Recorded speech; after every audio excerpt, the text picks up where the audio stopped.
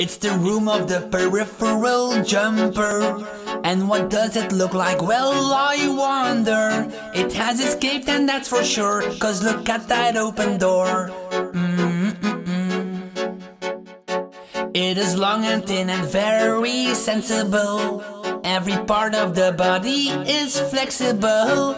It will always try to hide and stay out of your line of sight. Mm-mm-mm. And I said, 372, where are you? Hiding, stalking, it's annoying, but that's what it wants to do. Now that it has broken free, it just won't stop stalking me. Oh, I should have let it be. 372, where are you? Where are you? Where are you? Where are you?